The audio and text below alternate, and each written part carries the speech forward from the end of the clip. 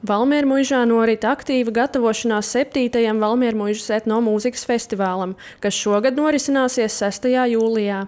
Tajā tradicionālā kultūra savīs ar mūsdienīgo, piedāvājot apmeklētājiem iepazīt dažādas tradīcijas un baudīt muzikālu pieredzi kopā ar etnomūzikas izpildītājiem gan no Latvijas, gan ārvalstīm.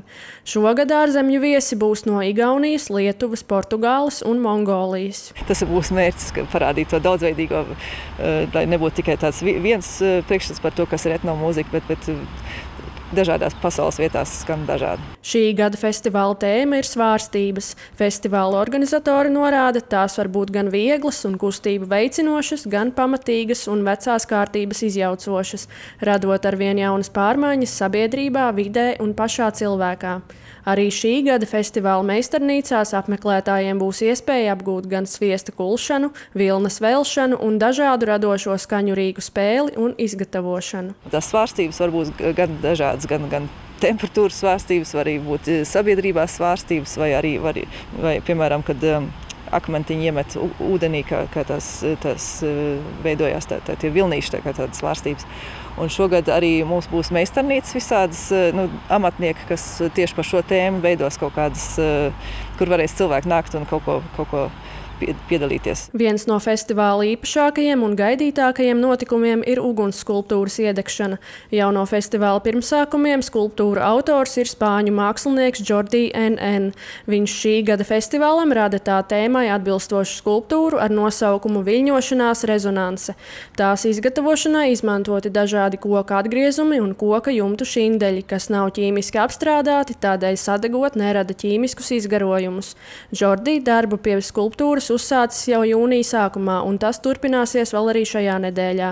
Kā norāda mākslinieks, skulptūra vēsta par nemitīgu kustību, pagātni, tagadni un nākotni. Then... Es domāju, ka skulptūra atspoguļo ūdens viļņošanos, kas rodas akmenim iekrītot ūdenī. Iemetot akmeni ūdenī, rodas viļņošanās no pagātnes un nākotnes. Kā var redzēt skulptūrā, divas čūskas aptver lodi, kas simbolizē akmeni jeb tagadni bet pagātne un nākotne izgaist. Skulptūras iedegšanu paspilgtinās arī buto dejotājas. Buto dejas radušās Japānā 20. gadsimta 50. gadu beigās.